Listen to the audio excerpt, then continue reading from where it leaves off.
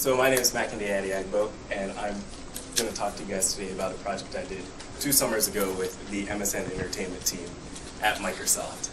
And as you can tell, it's about music. So where do people listen to music? And how often do they do it?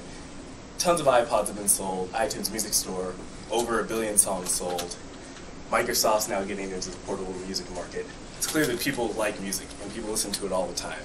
At home, at work, in the car, while working out, everywhere. But where is it done most often?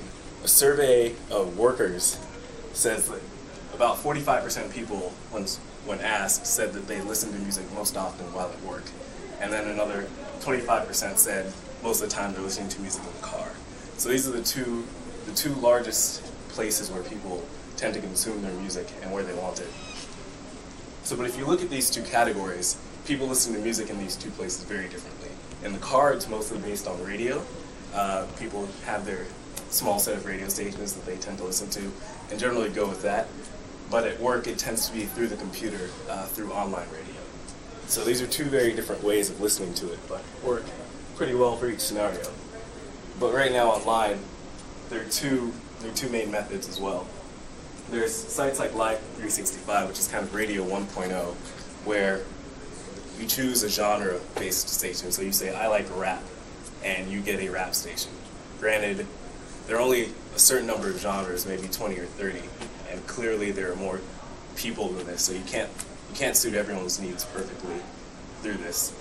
And later on, uh, sites like Pandora popped up where you get stations customized just for you, where you tell it what music you like, what you don't like, and it kind of tries to calibrate uh, based on that. But the project I did over the summer is kind of a blend of these two.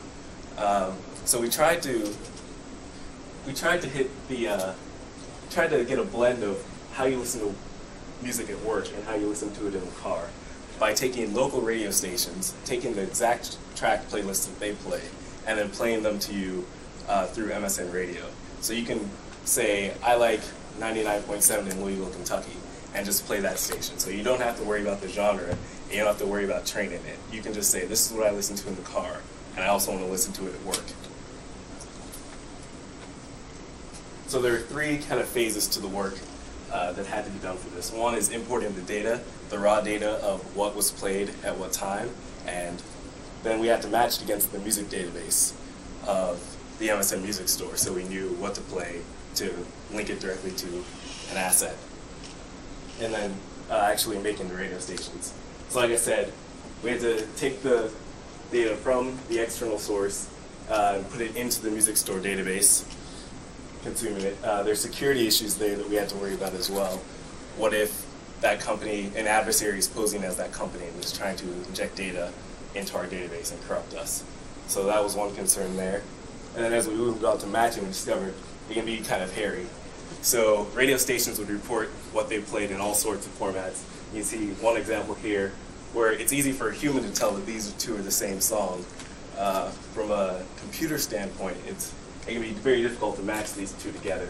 So this is, for instance, what we'd get from the BDS data service about what the station played, and this is what we have in the database.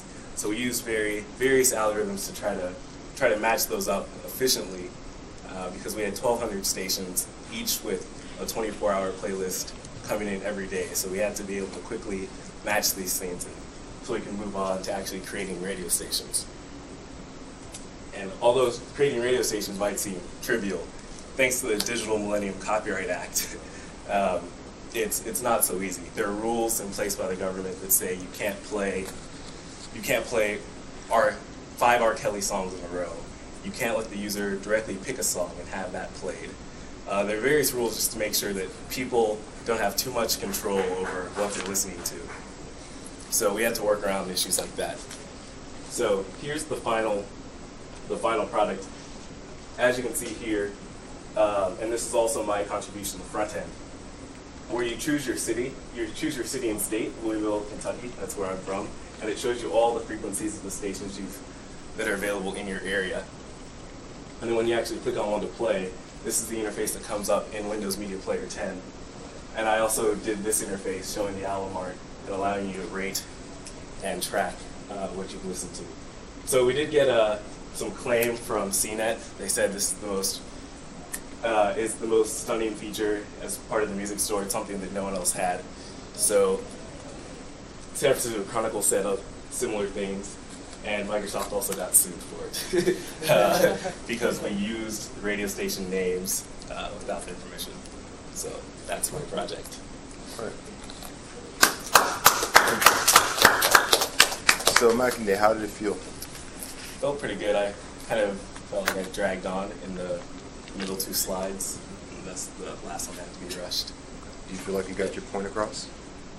Yeah, yeah. I still got the uh, kind of a problem and where we fit in, fit into the overall picture. Okay. Fast starts with bit is fat. How about you guys? What points did you guys take away from Makinde's presentation? Uh, Microsoft got sued. Microsoft got, Microsoft got sued. There's one point. Okay, what else? Makinde did uh, a bunch of the front end work, like the user facing stuff. So. bunch of the front end work, Problem solving approach. Problem solving approach, the difficulty behind matching and realizing how computers will do the matching. What else? Importance of radio and music. It's like uh, how much of time spent listening to music. Yes. You know, forty-five percent was listening in the car, twenty-five percent at work, or vice versa. That was it this last one. Vice versa. Um, yeah. So then those those kind of facts and figures came out. What were the points that you wanted to get across, man?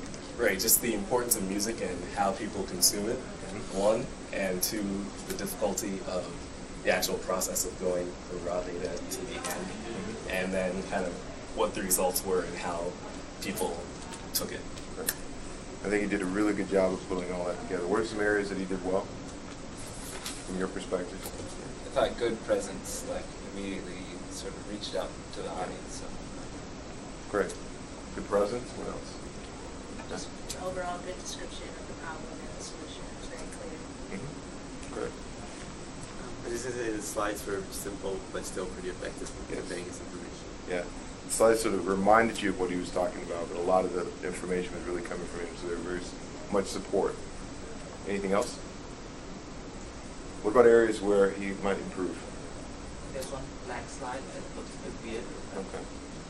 Just put something on it. Okay. Anything else? So the maybe the background of the slide might have a little odd. Anything else? Yes. Uh, I, I felt like maybe you could have like gone a little bit more into detail on like your personal contributions. Like I, like you did sort of like mention it, but it was like sort of like a quick sentence or so, and like Right. Almost in passing, right? Right. so I think it may have been an afterthought, right? a time issue. yeah. Any any other thing areas that you can improve? Yeah, I think the time issue was like I think you did a pretty good job of covering the time issue, but Mhm. based on like us discussing the presentation last night, like I thought there was other stuff like that you were gonna fit in, a couple other things. Like I think your joke at the end worked better. Yeah. when You told it to me last night. Nice. So I, I thought you had a, a, a good use of humor. You very good creative slides. Um, you sort of had a definitely had a presence that reached out and grabbed people, and that was good. We'll give you more detailed feedback uh, a little bit later, but Okay. thank you very much for your time. Thank you. Okay. Another one or? Uh, no, actually, we're.